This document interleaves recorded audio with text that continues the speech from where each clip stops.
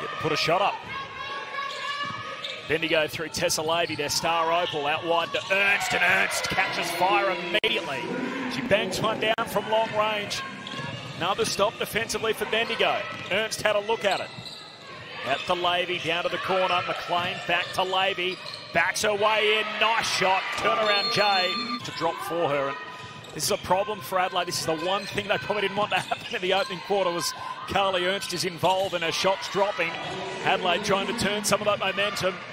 Bendigo recover the ball. McLean back to Lavey.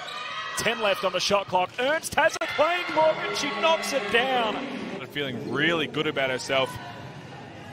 Talbot thought about shooting over the top of Pelvas. Now tries to take her to the rack.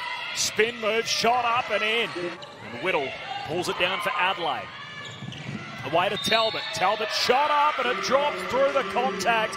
Draws the foul from Lavey and Steph Talbot. The defense, they get out and run. Great look by Alex Wilson. Really nice finish from Steph Talbot. And uh, what's the game? 45-44, not that long ago. That's Bendigo, 12 to 2 run Lightning's way.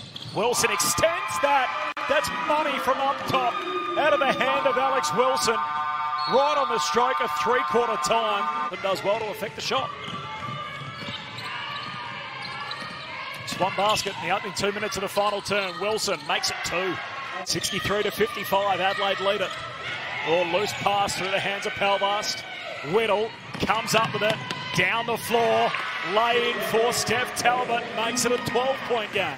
To come back and snap a five-game losing sequence in the process. So the Lightning keep the spirit winless. Adelaide 69, Bendigo 59.